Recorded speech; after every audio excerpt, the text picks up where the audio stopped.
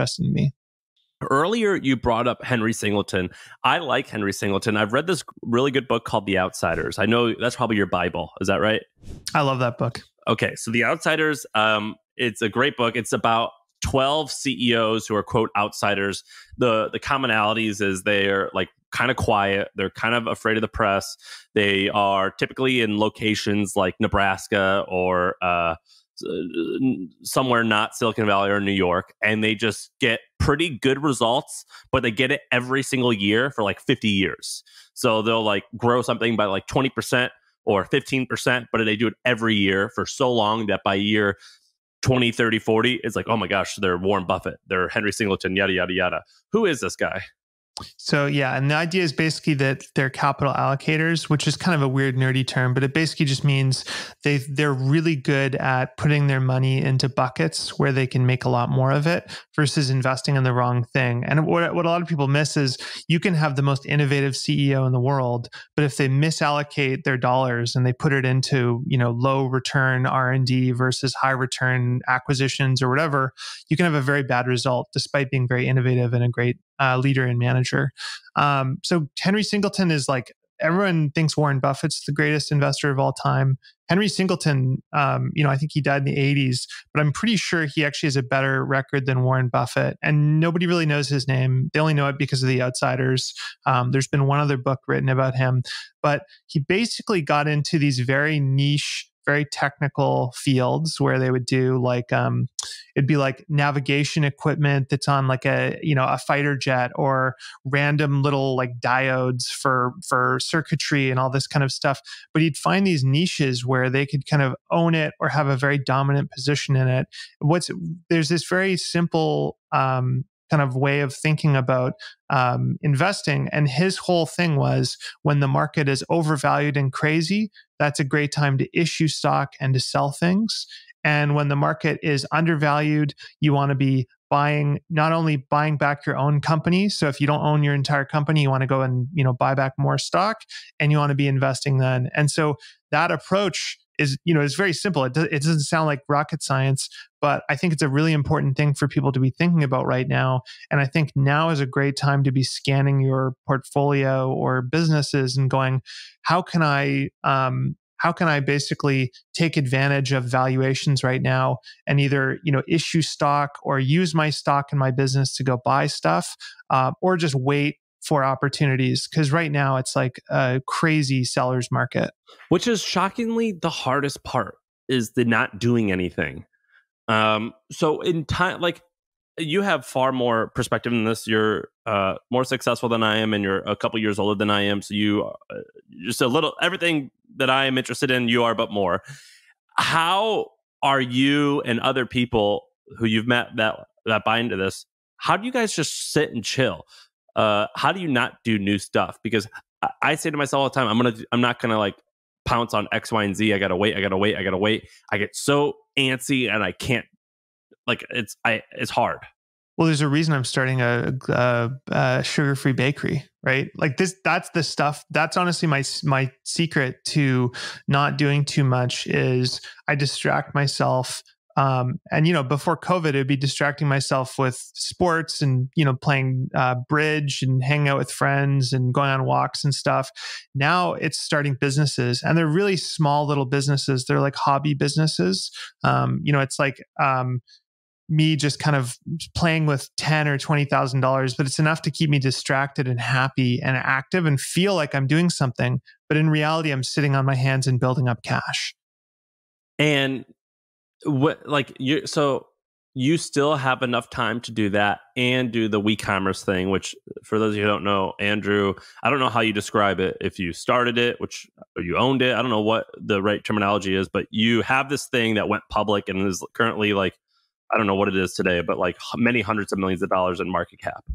Yeah, we started a business about 10 years ago. Um, we met the founder um, of Shopify. And at the time, we were running a design agency. And he said, Hey, we want to launch themes on our platform. We want people to be able to sign up and have different designs they can choose from. And we'll let you guys sell uh, these themes on the platform for you know 150 to 250 dollars and so we were kind of thinking like hey it's a small little canadian company these guys seem nice let's do it and uh, we started doing it. And Shopify just grew into a behemoth. And we rode the whale and did really well. And we actually sold the business in 2013. We didn't realize how big Shopify would get and then we bought the business back in 2019. Um, we did, did a bunch buy of it back for more than you sold it. Way more. Yeah, I Damn, think it was five five times, six times. Um.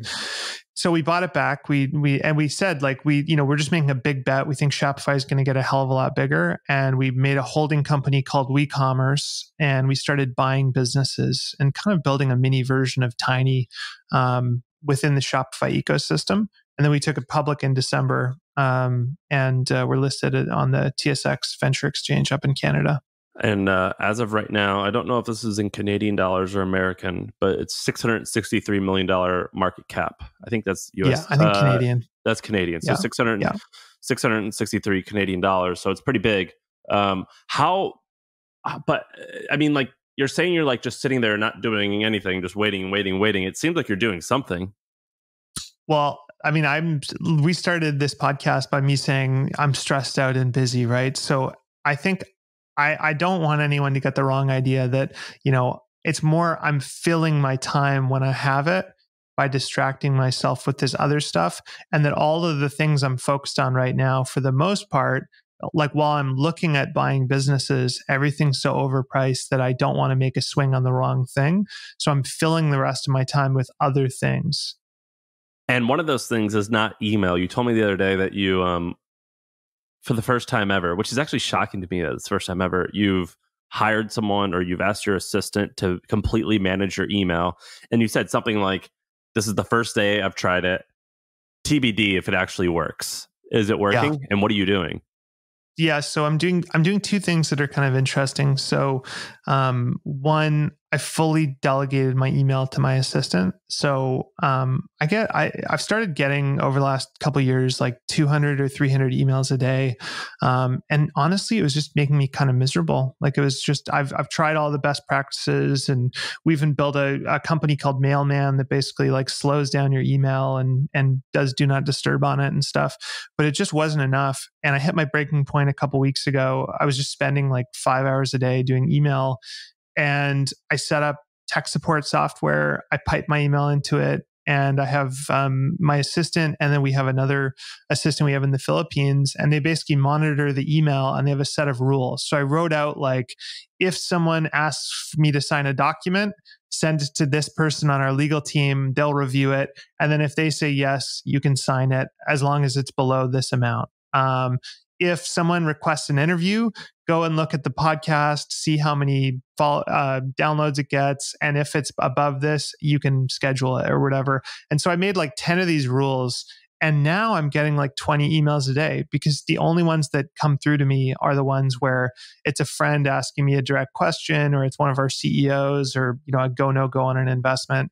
And so it just freed me up by like two or three hours, and it's a classic example of like the e myth kind of where you're like you know desperately doing all this stuff that you don't really need to be doing because you've always done it um, so that's been awesome What's, Um, what's and then- what's the sorry go ahead I don't know what the, The- e-myth is. The- oh you don't know that book I've Um, I, I, I've seen it. I, I don't know what the myth is. I've never actually read oh, it. the e myth the, the entrepreneur myth i think it is but um i think I, that's the thought, best I thought. See, I always thought it meant electronic. The elect like it. No, it, it's it's an amazingly badly written book, but it's a very important message. And it was like transformational for me like 12 years ago. And the idea is basically um, when people start businesses, they don't build systems and they don't delegate, right? So uh, the the uh, person who loves baking starts a bakery, and then before they know it, they're staying up until two baking, and then they wake up at seven in the morning to mop the floor, and then they're behind the till all day. They're miserable, they're stressed, and they thought they were creating this utopian business that they wanted,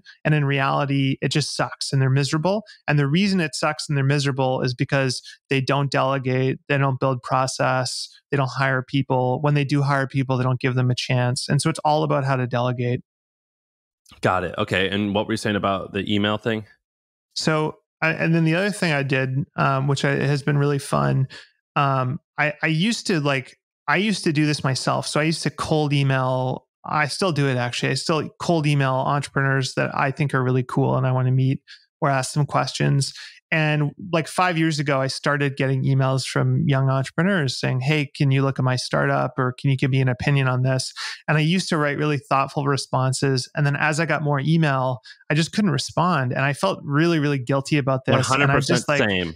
I'd Same. like delete it. Sometimes I'd just be like delete, and other times I'd be like one line response, and I'd be like, "Fuck, they think I'm an asshole." One hundred um, percent same, dude. I've so- done that with yeah. some people, and then I've eventually become friends with them. And you know how, like on Twitter, you can see, like, you recognize people's thumbnail over and over. There's this one guy the other day that I've seen him talk to me all the time, and then I've been hanging out with this other person, like through a friend of a friend, like three different times now, and I knew his name, and I'm like, "Fuck, you're the guy I've been ignoring." Yeah, I'm Yeah. so sorry, man. I'm so sorry. I, I, I didn't realize it. I, so anyway, I do the same thing, and it kills me. well, you never know who they're going to become, or they could have this great idea if you just talk to them and get on the phone.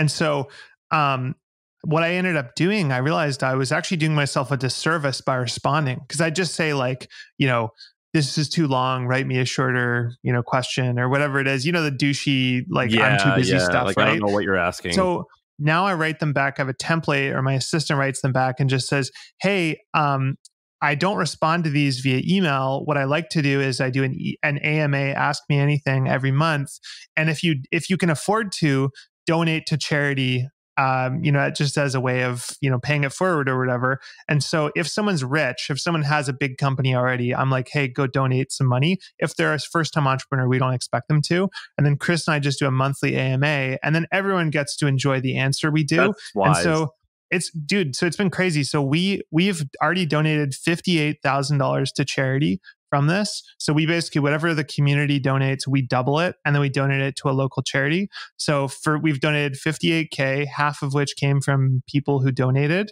And then uh, it's probably saved me two or three hours a month of just Oh, not responding to these emails. So it's Um, it's like a really great hack. Should I copy that? I think that's great. Totally. Did- yeah. Did you absolutely. make that up? Uh, I yeah, I think we made it up. That's wonderful. That is such a good idea. Where'd you send the 56k to? Have you picked your thing yet? Uh, we did one. One was like a. Uh, it's called Bridges for Women. I think. I think it was. Um, and it's for women that are transitioning out of abusive households. And then the other one was uh, a gym, a local gym. Some guy set up a gym for uh, handicapped people because there's no equipment for handicapped people in town, and so it's somewhere you can go and work out if you're, you know, uh, paraplegic or something.